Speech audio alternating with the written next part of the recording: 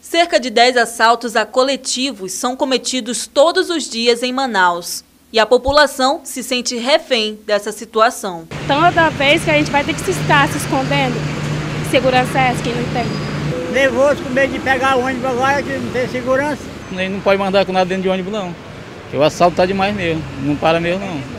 De acordo com o Sindicato das Empresas de Transporte de Passageiros do Estado do Amazonas, o Sinetran, de janeiro a abril deste ano, foram registrados mais de 1.100 assaltos a coletivos. No mesmo período do ano passado, o número foi menor, 841 assaltos. Só este ano, o prejuízo já passa de 325 mil reais. O número de assaltos aumentou em 24,9%. O Sinetran acredita que esses assaltos estão relacionados ao dinheiro que ficam nos caixas das catracas. A emissão do cartão Passa Fácil é uma alternativa indicada pelos empresários para minimizar essas ocorrências de assaltos.